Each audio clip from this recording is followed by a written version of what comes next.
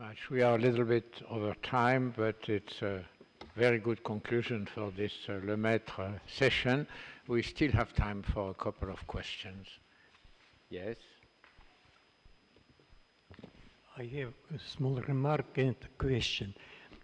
Uh, remark is following. You know that in our, labor in our library of this academy, there is a, preprint or, or, booklet of Dirac about Lemaitre. Yes? And uh, that the commem commemoration of the Lemaitre was made by Dirac, greatest physicist. And a question following. What this uh, happened with uh, Hubble constant, this history? Why it disappears in the translation in monthly not notice? Uh, uh, what is the status now? Okay, so I should provide a few uh, a little, little, context. The question is. Um, Lemaitre derives a value for the expansion rate in his 1927 paper. In 1930, Eddington asks Lemaitre to translate his paper into English. But the translation did not contain the derivation of what became known as Hubble's constant. Lemaitre,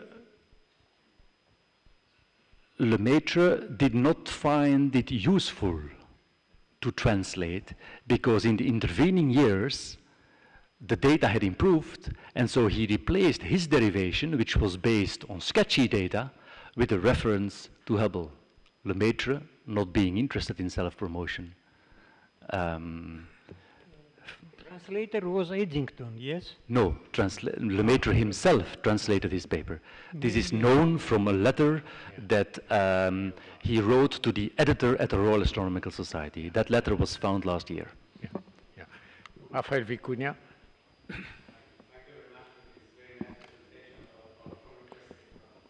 Microphone. Microphone. Okay, I am curious about the, the, the, the primitive atom concept. He, he, it, that concept was coined by Lemaitre, and then it, it turned into Big Bang. So did Lemaitre do anything to, to maintain his initial uh, primitive atom concept? As I understand, the Big Bang was an irony by, by Fred Hoyle, was it? That is right. Fred so, microphone. You're right that Fred Hoyle coined the term Big Bang. But more, the more interesting question is, did Lemaitre do anything to sort of go against this? I don't know. And I, I do know he didn't feel he didn't feel that the term did justice to his model. And in fact, I think in, in the interview he says here he would call that rather the a primeval atom. Um, but okay, these are terms stick. Uh, yeah. Uh, Marcello. Thank you and congratulations for your very nice presentation. Thank you. But who was the theologian medieval that you put in the second page that you, you say you can see here one page about the question of cosmology and the other page about a discussion of medieval theologian. Who, who was? Because as you know, we have two traditions. The tradition of San Bonaventura that say we can prove the temporal beginning of the creation, and the, the, tradition of Thomas Aquinas that is more important. Yeah, so. Mm -hmm. So Lemaitre was clearly much more oriented towards the second tradition, sort of a much, much more two levels, two levels, two distinct levels of reality.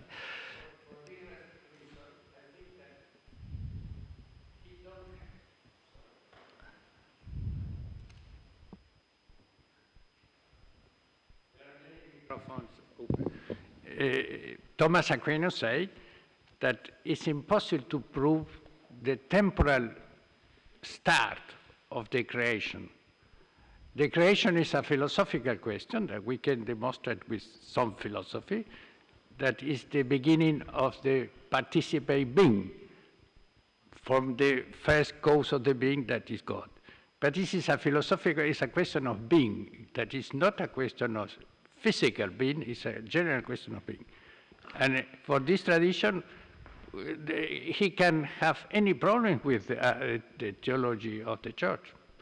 And I don't think that he have problems here in the academy, as you said. That's right. Uh, yes, I completely agree. Yes. Yes. Loosely speaking, Lemaitre would have said that the existence itself of the primeval atom, or the existence itself of reality in a very abstract, non-temporal way, was distinct from the physical emergence of, no, of our classical notions of space and time. That's the point he makes in this very short paper. I think it's crystal clear.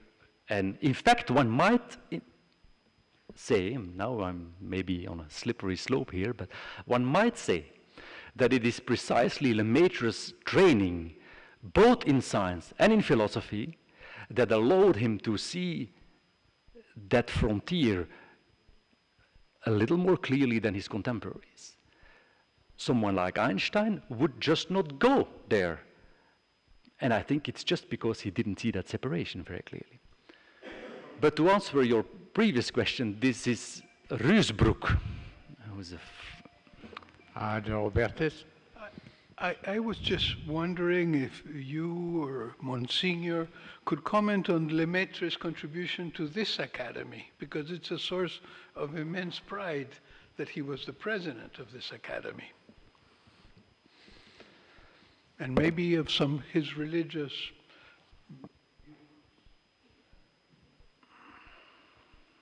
well, I'm sure other others here can can uh, say more about that. But from what I from what I understand,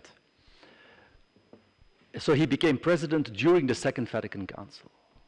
Hmm? He was he had been a member, I believe, since its creation in 1936, um, and in during his presidency, I can see clearly that he was very careful about the uh, safeguarding the autonomy of the Pontifical Academy. So he, he did feel, I believe, that this should be a forum, a platform where one can freely and openly any discuss about anything and that a dialogue with the religious sphere would then naturally coexist with that. So, so in a way, he implements in his presidency, as far as I can tell, the same kind of vision which he implemented as a cosmologist in the 30s when he came up with the idea of a primeval atom. That's somehow a little bit how I see the connection. Secondly, and this is also very important, I think, and he was well known in Leuven, in Belgium, to be extremely open-minded to people from all walks of life. Um, in that context, I think you can also see the second important activity of Lemaitre at his academy, which is he internationalized it a lot and he um, invited uh, scientists literally from all over the world to become members. So I, I think you must probably know this better than I do, but that's so, uh, an interesting anecdote uh, is during the Second World War in Belgium, the University of Brussels, which was not a Catholic university, was bombed Lemaitre immediately went to the Chancellor of Leuven to say, we should invite the students of Brussels to come to Leuven. That's not so special. But he added immediately, and we should exempt them from all courses related to um, spirituality or religion. We should leave, keep an open mind. That's typical Lemaitre.